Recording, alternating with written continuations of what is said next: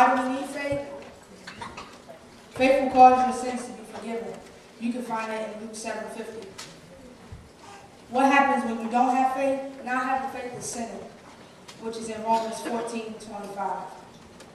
What do we do as Christians? We walk by faith. We realize that in God, that if we realize that in God's word, He said, if you have the faith the size of a mustard seed, He will do the rest. But us meaning Christians make the mistake of trying to make shortcuts. And what I mean is, we get an idea, like start our own business, and we get all the information and nothing happens. We try to do it on our own. And then we try to get mad at God and go and try to turn our backs on God. But how many, how many of us know that God is a God, that God is time, and God works in time? So, what we have to do is continue to uh, believe in faith and walk by faith and everything, and just continue to trust God for whatever you need. And we just have to trust and believe that God's going to do the rest. So I'm done, I really hope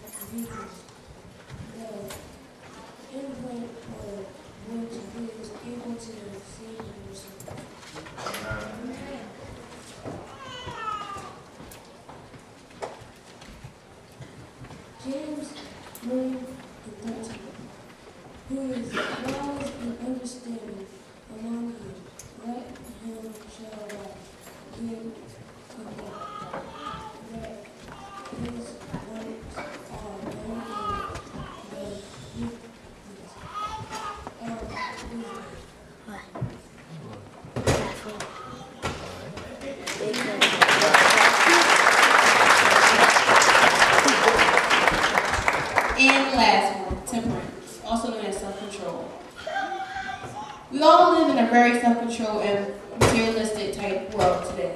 Many people have very poor impulse control. If they see something they immediately want, they will do anything that they can try and get it. They will not be denied until they get what they're going after. These people are absolutely very weak in the quality of self-control. They are ruled by own flesh. Rather than by the Holy Spirit, this is why the Bible tells us that if we learn how to really walk in the Holy Spirit, then we will not fulfill last of our flesh.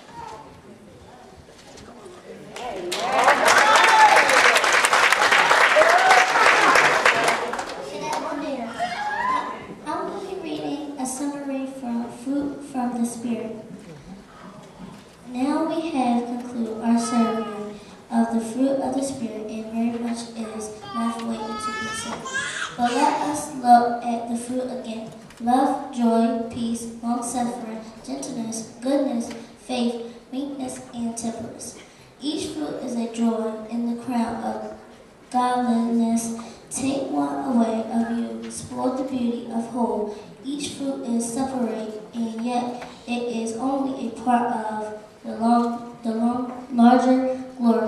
Together, the nine fruits com comprise the highest expression of a holy life.